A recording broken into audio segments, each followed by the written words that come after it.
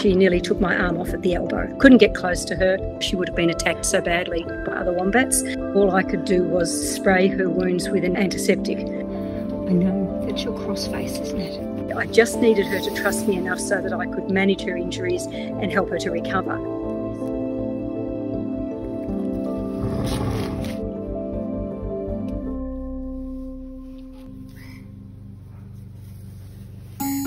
The first time she showed me that trust was when she invited me to scratch her belly. They need to be physically big enough to defend themselves in the wild. She knows when I'm going to weigh her and she doesn't like to be picked up. Can we do this? Are we going to do this?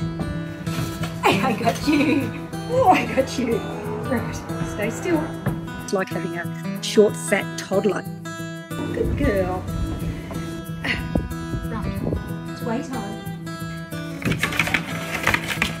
Oh, wombats have got no handles. They're like a football shape. You must have put on weight this week. 16 kilos. Now you get on yourself.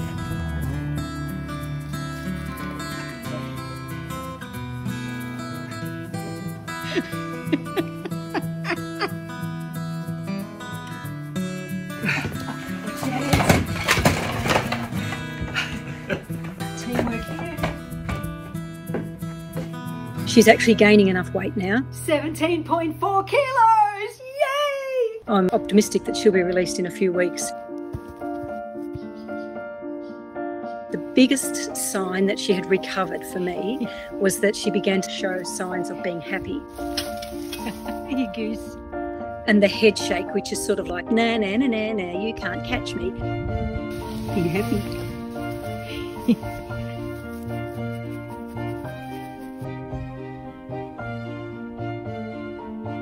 This is Marinda's last graze in our garden.